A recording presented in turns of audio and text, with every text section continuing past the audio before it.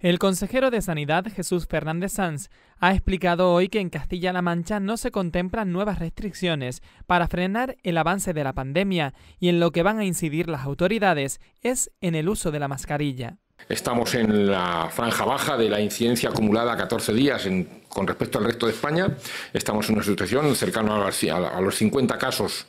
por eh, 100.000 habitantes en 14 días y, en 25 o 30 casos a 7 días, lo cual quiere decir que estamos en una situación muy estabilizada, con nuestras eh, camas, con nuestra utilización en las camas asistenciales, pues también baja, también de las más bajas de este país,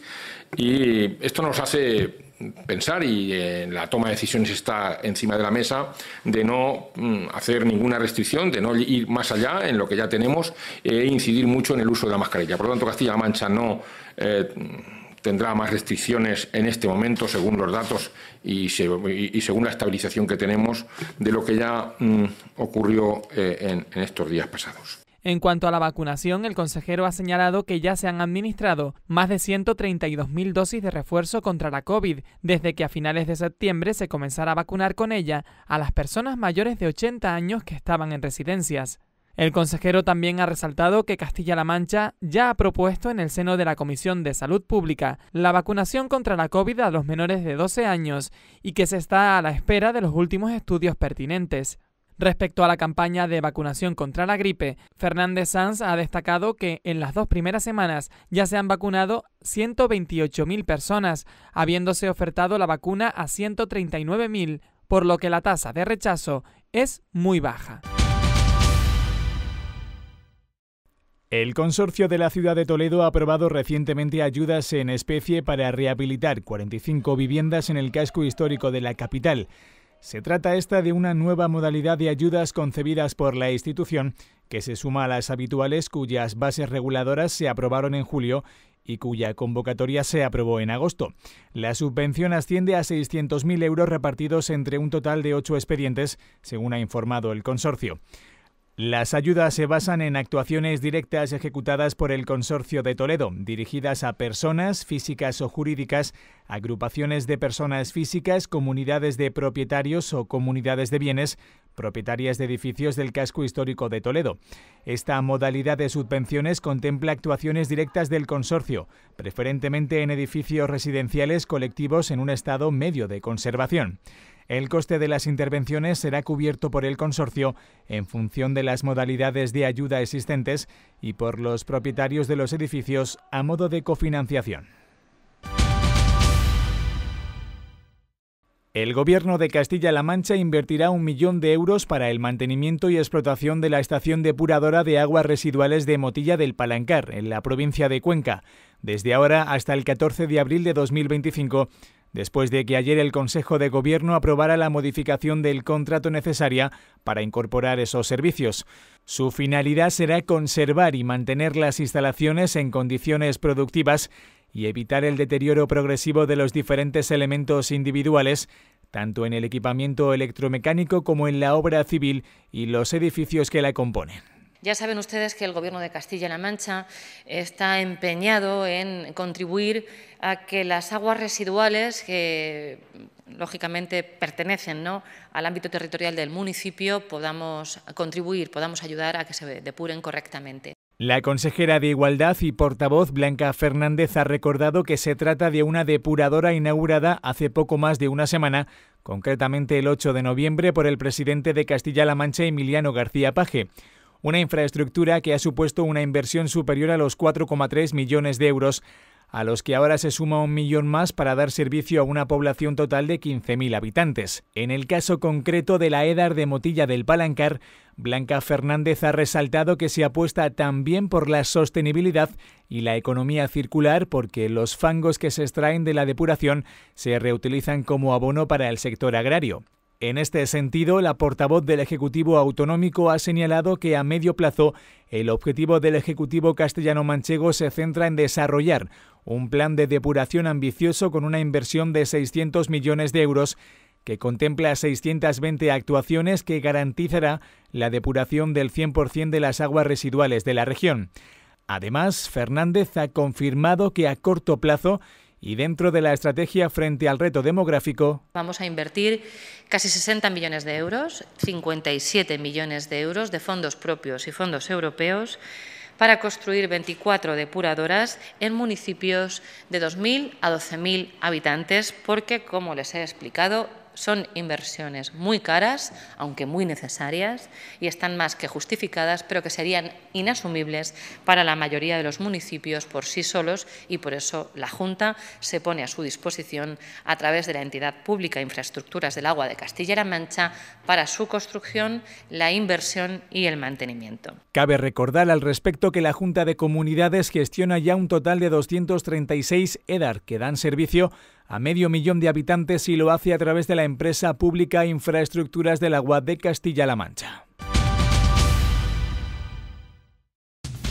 400 estudiantes de tercero y cuarto de la ESO y primero y segundo de bachiller han asistido en Toledo al espectáculo del narrador Félix Albo, Así me llaman. Esta actividad dirigida a los más jóvenes se enmarca dentro de la programación organizada por la Delegación del Gobierno con motivo del Día Internacional contra la Violencia hacia la Mujer, el objetivo, sensibilizar sobre igualdad y violencia de género. El gobierno regional procedió la mañana de este martes a la suelta en el municipio albaceteño de Albatana del lince ibérico Lucero, dentro de un programa piloto con el que se pretende que este ejemplar pueda vivir en libertad y crear junto a la lince cuastellana la que sería la primera camada de estos felinos en peligro de extinción que nace en la provincia de Albacete. La alcaldesa de Talavera de la Reina, Tita García, ha mostrado su apoyo a fórmulas como las que está desarrollando la fábrica de empresas y que favorece la llegada de nuevos negocios a la ciudad y la consecuente generación de empleo y riqueza. Este centro de empresas da cabida a 12 negocios en la actualidad que están instalados y funcionando con sede social en la misma y que suponen que se hayan asentado en torno a 20 puestos de trabajo, muchos de ellos de nueva creación, además de los indirectos. La consejera de Educación, Cultura y Deportes, Rosana Rodríguez, inaugura la exposición Los Zurbaranes de Jadraque en la parroquia de San Juan Bautista de esta localidad alcarreña. Esta muestra se realiza con motivo de la conmemoración del 150 aniversario de la consagración de la parroquia y podrá ser visitada hasta el próximo 16 de enero.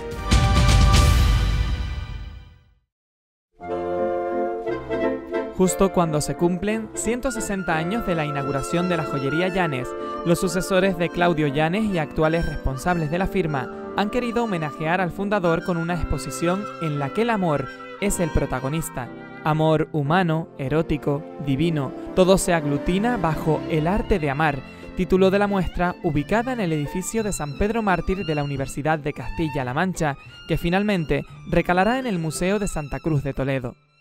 es hoy una fecha importante en la vida de cinco generaciones que comenzaron con nuestro fundador Claudio en el año 1861. Han pasado 160 años y con orgullo nos alegramos y con orgullo nos alegra celebrarlo en esta maravillosa universidad que, tenéis. Para mí, mm, el que pudiésemos estar en vuestras aulas, disfrutar eh, y pensar cómo, fijaos, en aquellos años de, mi, bisabuelo como profesor de primera enseñanza, pues para mí era como un ideal, un ideal maravilloso. Entre las autoridades presentes en el acto, la alcaldesa de la ciudad, Milagros Tolón, quien felicitó a las cinco generaciones de orfebres que de alguna manera, con su arte, han enriquecido nuestro patrimonio cinco generaciones de orfebres en una ciudad, patrimonio de la humanidad, que el patrimonio no solamente son los edificios, somos eh, historia de España y el patrimonio es por la cultura, por el arte y por tanto por la orfebrería. Tolón destacó además que el éxito de Llanes tiene mucho que ver con el éxito de Toledo, porque en ambos se unen tradición, adaptación a los nuevos tiempos y evolución y desarrollo para seguir creciendo con la mirada puesta en el futuro. La alcaldesa aprovechó para hacerles una propuesta. Claudio Llanes creó una de las firmas de joyas, yo diría no solamente más prestigiosas de nuestro país, sino más prestigiosas de Europa, haciendo con ello historia en el sector de la orfebrería. Empezó rindiendo homenaje a los visigodos, Toledo ha sido dos veces capital de España, una con el reino visigodo y otra capital del imperio. Por tanto, Jesús, estoy esperando esa colección de Toledo, específicamente como hemos hablado antes de entrar. Por su parte, el catedrático de la Universidad de Castilla-La Mancha, Felipe Hernández Perlines, puso el acento en el gran trabajo que ha hecho la firma durante estos años, siendo pioneros en muchos aspectos. Innovación tecnológica, ser pioneros en la utilización de nuevos materiales en la joyería y también en la internacionalización. Fuisteis la primera empresa joyera de España que salió fuera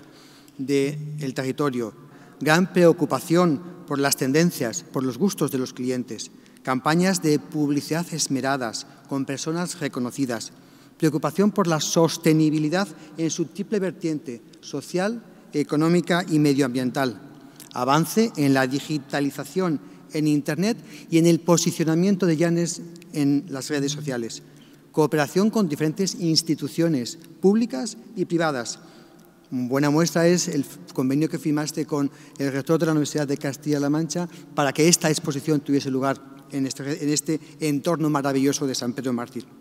El acto concluía con las palabras del presidente de Llanes, Jesús Llanes Merchante, quien agradeció a todas las personas que a lo largo de estos 160 años han apostado por sus joyas, pues son todas estas personas las que les han posicionado como una de las joyerías más importantes. En concreto, agradecimiento a las miles de mujeres que han disfrutado de estas piezas, con una mención especial a la suya propia que me permitáis cerrar